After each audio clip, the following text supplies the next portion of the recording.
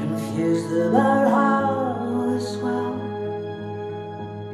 Just know that these things will never change for us at all. If I lay